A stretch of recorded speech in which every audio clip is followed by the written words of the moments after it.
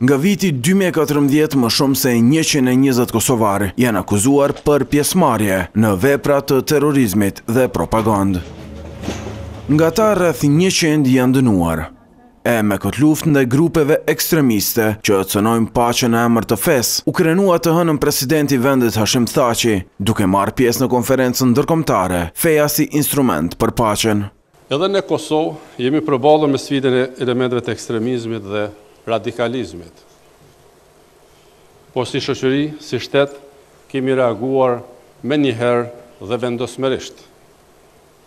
Ndihem shumë krenar që Administrata e Shteteve të Bashkuara të Amerikës e ka vlerësuar Kosovën si kampion rajonal në luftë kundër ekstremizmit dhe terrorizmit. Në këtë konferencë të organizuar nga presidenti i Shqipërisë Ilir Meta, në bashkëpunim me Departamentin Amerikan të Shtetit, e ku po marrin pjesë edhe përfaqësues institucionesh nga vendet e rajonit, Thaçi tha se feja po keqpërdoret për përfitime politike. Keqpërdoret feja me interpretime më të çoroditura politike në shërbim të qëllimeve ditore politike. Dhe e gjithë bota kërcënohet të bëhet një lëmsh i madh, me pasoja të paparishikueshme për të gjithë ne.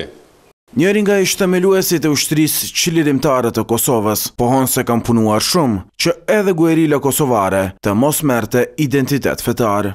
Nuk kemi lejuar që në luftën e Kosovës për liri dhe pavarësi të implikohet feja.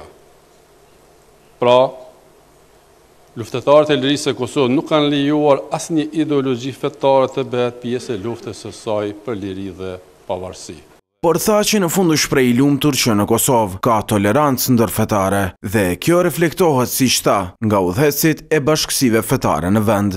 Udhëheqësit fetarë në Kosovë kanë ndërtuar ura komunikimi dhe bashkëpunimi mes tyre.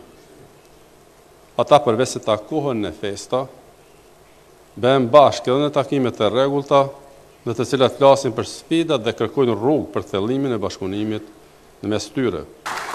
Presidenti kosovar këtu u shpreh i vendosur se vendi do të vazhdojë luftën kundër terrorizmit dhe elementëve që synojnë të manipulojnë këtë të fundit me qëllim të cënimit të paqes në botë.